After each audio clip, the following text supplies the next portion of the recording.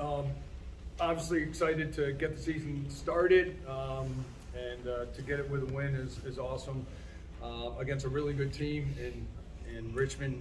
We've uh, we've had some tough games with those guys, so uh, the decision to play them early was definitely one was uh, for us going to be pretty challenging given what we've lost, um, but also we told the guys, you know, we have enough confidence in them that um, you know, if they just play together and play hard, um, you know, we have faith that they could find a way to get a win today. So, um, super excited to get the season going. Uh, these guys have worked hard since August, and uh, just great to see a lot of new faces uh, involved and um, getting a good team win.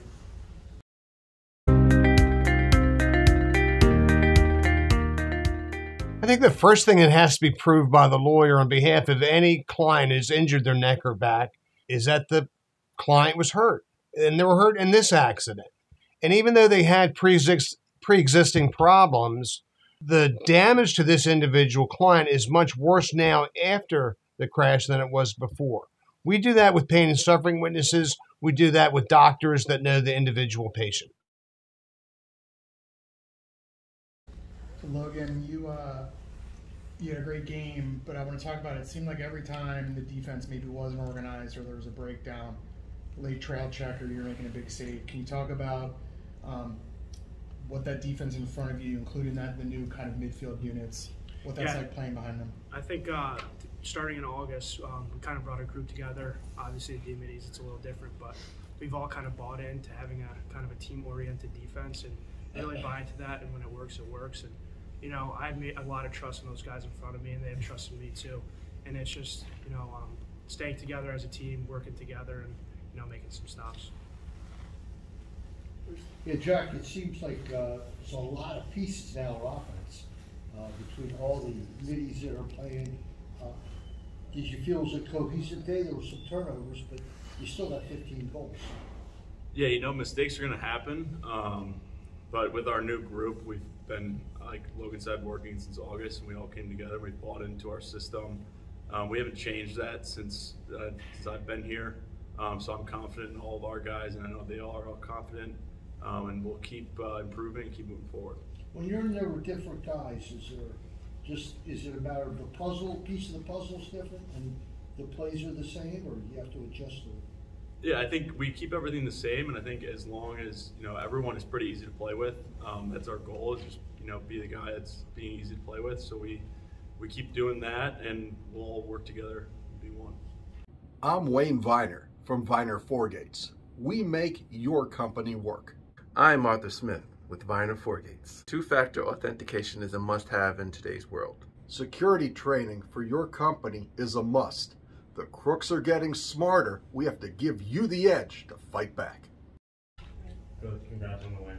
Uh, Owen Murphy, four goals, nine Was the plan for him to kind of shoot the ball as much as he did, or was it just that he had the hot hand? Um, no, uh, the way, and, and, and Jack kind of mentioned it, we really don't necessarily go into a game going, we need this guy to get that many shots. Um, you know, traditionally with the, you know the attackmen being out there all game, they, they typically are going to get more opportunities, especially if you have some unsettled. Um, but Murph is a guy that, and, and, it's funny, these guys played club ball with him, so they've played with him for a long time. Uh, Murph just kind of has a knack uh, for, for scoring and, and kind of getting the good spots and, and, finding spots. And I thought that his teammates did a good job of finding him too. Two bigger moments early in the game. First one goes to Logan. What a way to start this off with a long pass to Geppert. Take us through that play. Yeah, it kind of starts in practice. Um, do a lot of preparation with that. Um, kind of doing goalie work with just the goalie specific. Um, working on kind of those outlets, having pressure in the face, and kind of trying to find a spot to get it up and out, get it to our offense, and uh, push some transition. I have a lot of trust in our guys breaking out and pushing transition, starting from um, the D mid group, the LSMs, even the defenders that play um, close to me. So uh, I have trust in those guys. They can make those plays, and you know, worked out today. Did you get a chance to smile after he scored? A little bit. Okay. Gets a little faster than the guy. Yeah. yeah. Uh, and something that really talks to the heart of this team, uh, in talking to Bruce in the press box throughout the game. The defense was still there, but there was that moment in the first period where Richmond seemed like they had the ball for four minutes, and you guys finally held. And I saw uh, number one turn to the stands and Brett sort of shook his fist and the place went crazy. What did that feel like to you guys to hold him down that long? I mean, you, you, you get tired out there. It's you know it's first game of the season. Um, you're kind of riled up a little bit. Um, but playing that long of a possession is difficult. But we uh, we practice like we play games. We uh, we compete in practice, and it transfers over to games. So we were prepared for that moment. We have guys that can play when they're tired. So it's pretty special to see, especially that long of a possession, and um, you know come up with a stop and get it to our offense. It's pretty pretty um, good for that. So. I guess this could be for any of you. What did you guys think of kind of, I guess, this kind of, I guess, new starting lineup or players going back to the starting lineup? haven't started in years, and yeah. Uh, go ahead, Jim. Um, I think it's just being confident in our group. Um, I think we've kind of started to formulate these lineups, um, and we've been able to build a confidence together through practice and preparation. Um, and I think going against each other every day, whether it's our offense going against our defense or against the scout guys, um, everyone's really good. So it kind of helps with uh, confidence building. Coach, I believe this is your program's 30th straight season opening win. How important is it just kind of start the season on the right note? Yeah, I, I think obviously going against a good team um, and then having put in so much work, um, and I can, I kind of to Jack's point, uh, it there's been a lot of change. Um, there's been a lot of change since August. You know, half our staff's gone. Um, a lot of you know guys that have been here for a while are gone. So there's been a lot of new parts. Um, even in the preseason, you know, we a bunch of guys in and out. Um, so, in fairness, these guys, the first couple games, I'm not sure we felt totally settled. Um, but these guys, like, pretty resilient group, like didn't flinch, um, and I felt like they just got better and better uh, each week, and, and thought it showed today. They were super unselfish. Uh, the guys shared the ball. The stick work was better, I think, than it's been. So credit to those guys and, and um, Coach Jake uh, doing a really good job, and uh, you know Jesse obviously did a really good job with the defensive group. Um, not really sure who was going to play um, and who was going to be playing with who. Um, and we, again, we've had some battles with Richmond. I mean, they've been able to put up some goals against us. So um, I know it's a source of pride for those guys. And you mentioned the change. Like, um, how kind of relieving is it to know that despite all this change, you guys are still a dominant team? Um, you know, I I think for us, you know, just we believe in our guys. Um, we always look at what they could be, um, and you know, if they're not there yet, our goal, right, as, as coaches or teachers and parents is always to try to help them be their best version of themselves and try to get them to either through get them out of their comfort zone to try to push and challenge them. Um, so you know, with these guys, it's just a matter of you know, kind of giving them some structure, but also giving them some freedom. And uh, I know we have confidence in all those guys. Um, and with the way we play offense, you kind of have to. Uh, but we have smart players, skilled players, guys that you know are always going to make the extra pass. And when you have guys like that that work as hard as these guys do, um, it makes our job a whole lot easier. Thanks, coach. Yeah, coach, I want to ask you about the, all, the, all the change you've had, especially losing Eric for the year. That's a tough blow for you guys. But guys like Daniel Maltz, Braden Erksa have stepped up today and had a pretty big role in, in your attack. How big a role do you see them having this year, and how do you think they played today? Yeah, you know, Danny's played a lot um, for us and, and might have been our most improved guy uh, this fall. Um, you know, has, has really committed to become um, just a stronger Dodger, and he made that very clear early in our preseason uh, in the fall. Um, he's dodging better than he's ever dodged. Um, you saw that today. He kind of posted up and turned and shot it. Um, so a lot of that I give Danny the credit. He invested all summer long um, and was really dedicated to try to improve his game, which he's done. Um, and Braden's been a nice, uh, nice addition. He had a really good fall. I thought he played well against Team USA. Um, and I do think like some of our preseason scrimmages, you know, we talked about it pregame. We had Team USA, we had our alums, which is basically a PLL All-Star game, um, Cornell, Duke, and Georgetown. So um, I wouldn't say any of those like were you know, like magical games or ones that were, were totally clean or felt like we, we were, you know, great coming out of there. It felt like we learned a lot and these guys got challenged a lot and then we were able to learn a lot about, you know, maybe what we need to do better and try to improve. And uh, I think these guys have just done a really good job of just trying to get better each week and, and realizing that even today we, we, we need to be better next week. Um, and that's the fun part of it is, you know, letting them enjoy tonight, but get back uh, on Monday. Coach, you touched on Braden a little bit. If you could just dive deeper into how impressed you were with his performance in his first game and what you see his role as the season goes on. Yeah, he's uh, you know he's a very athletic guy, um, a guy that we really liked in the recruiting process, um, and uh, you know he's very quick, he's skilled, um, he's a tough cover, um, and I think for this spring it just seems like the game has slowed down a lot. Um, you know, we, we went back and we were watching our 2020 game and felt like with Danny Maltz and Jack Brennan, um, you know they were freshmen and they were playing in, in the Richmond game, and I felt like that the game really slowed down from fall to spring, and I, I feel like there's a lot of similarities with Braden. Yeah.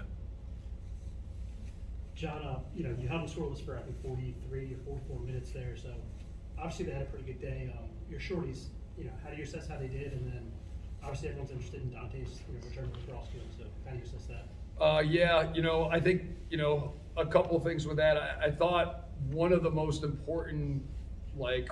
Um, points in the game was we, you know, they score and then we're man down for two minutes, and that could have been really problematic because it was two minute non-releasable. And I thought Luke winning that face-off, uh, we were able to kill 80 out of that two minutes. And then by the time they cleared, it was basically a 30 second penalty. But if they had won that face-off, we would have been man down on the next face-off. So that was like a, a moment that was really pivotal. So I thought we did a good job with that. Um, and the short sticks just have gotten better and better and better. Um, still some more work to do, but uh, I know Coach Bernhardt's really done a good job with those guys, and those guys have been logging a lot of extra time. Um, certainly Dante is one of those guys. Um, he he's uh, you know I've known him a long time. Uh, I still remember we had a little youth day here, and he was running around with the old school uh, Maryland flag highlight uh, Under Armour shoes, and uh, you know we were kind of like, man, who's that guy? Uh, so to see him run around play lacrosse here was super cool. Um, he's a uh, very dedicated guy. Um, you know, like you know, he, he's a quick learner. We've tried to be very careful. You know, the bowl game was so late that we didn't want to overload him, and uh, he's a guy that he kind of only knows one way, and so you know he's going hard every day. And so I think as you know, like you know, obviously the the older guys, we can sometimes realize young guys, you have to save them from themselves. And so for Dante, um, we've really tried to collaborate with Ryan Davis, who's a strength coach of football, and Coach Locks has been great. Um, you know, he's still doing some things with them, um, but we're all doing it together to manage his load and making sure we're not giving him too much. Um, and Dante still feels a lot of pride to make sure he's helping and leading some of the football guys when they have workouts. So um, it's been good so far. Um, you know, he's a guy that, again, he's so competitive and so dedicated that I'm not surprised he's doing well. Um, knowing him, he probably is going to be very um, scrutinizing of his performance. Uh, but for day one, I thought he did a pretty good job. I guess, yeah. Oh, okay. Um, I guess this could be for Logan, but I guess the, um, how were you able to get, or maybe you were making saves, but um, getting Richmond to kind of shoot their shots that were off target because that was like a big big discrepancy that your shots from Maryland shots were more on target and Richmond's were off target. Um, that all comes from the from the guys in front of me. Um, and um, starting practice, you know, our scout guys do a really good job giving looks um, of what we're going to see on Saturdays or on weekends. And our defense played super hard. Um, we worked together. We communicated with each other, and that's just a testament to, to how hard those guys work and get those guys to good spots where I can save the ball and they and I kind of tell them kind of where I want to see those shots, and they put them in those spots, and it was a pretty good day for us. Coach, I got ask you about one play. Jack McDonald comes down, and he looks like he's going to go back off with the ball, gets settled, but then he settles in in an attack position, gets the pass, and just rifles a shot on him. Is that something? I mean, you know, is where does he make that decision? Would he put it that way? Um, you know, we, we've kind of committed to, you know, everybody on the team being dangerous, you know, whether it's Brett, you know, or, or, or Jack or whoever it may be. So uh, we do a lot of work, even, you know, since August, the poles will shoot. Uh, we feel like having that, those goals, you never know when they're going to come. Um, they are big momentum goals. Uh, Jack, I'm not sure there's a guy that works harder than Jack McDonald on our team.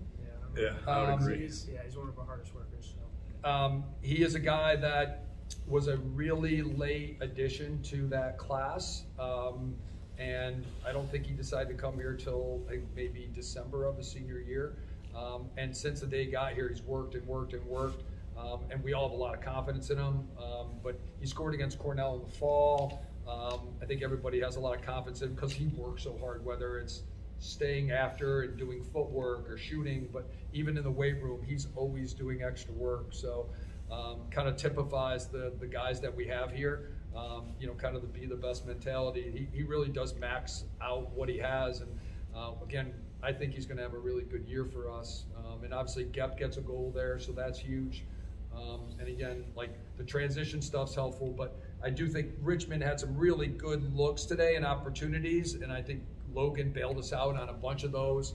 Um, and it's something that obviously we're going to have to go back and look at. Um, you know, just clean some things up, but it's nice to have some some veterans in good spots, whether it was Luke at the face-off or, or him in goal. So again, a lot to improve upon, especially with Loyola. Um, they're going to be really tough up there. They always are.